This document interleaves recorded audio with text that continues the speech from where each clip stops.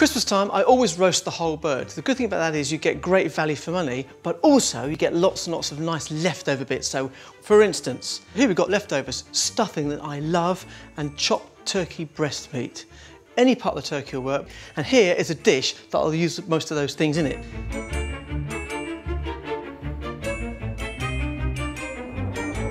So the ingredients you're going to need are turkey and stuffing, onions, garlic, a bit of flour, milk and cream. You don't have to use the cream, I just add a bit of cream to make it slightly richer. Dijon mustard, cooked macaroni, breadcrumbs and cheese. First thing to do is to soften the onions. So, a couple of tablespoons of oil into a nice deep pan. One small onion, in that goes. And two cloves of garlic, chopped as well. Not what you'd normally get in a macaroni cheese, but it does give a nice background flavour. So what you need to do is cook the onions for a couple of minutes and the garlic just to soften slightly. We're not browning, we're just going to soften slightly. At this point, a couple of minutes, I'm adding two to three tablespoons of flour just to soak up the oil. In that goes. One, two, perhaps two and a bit. Now, what I don't like is the macaroni and cheese to be really tight and, and thick. I like it to be quite soft, especially when we're going to brown it in the oven. So don't go mad on the flour. That will just soak up the oil perfectly like so. And then all I do is chuck the milk and the cream in together. You don't have to worry about mixing it bit by bit.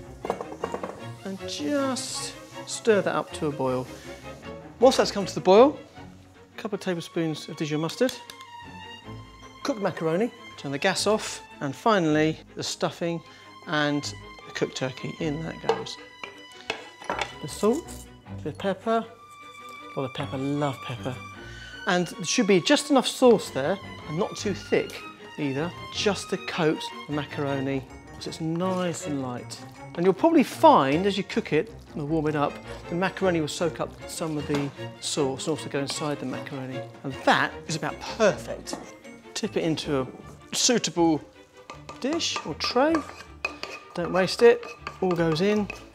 And you just pat that down slightly, don't go too mad, you want to keep it nice and light. Then I'm going to add a little bit of cheese. Any cheese you like, this is cheddar.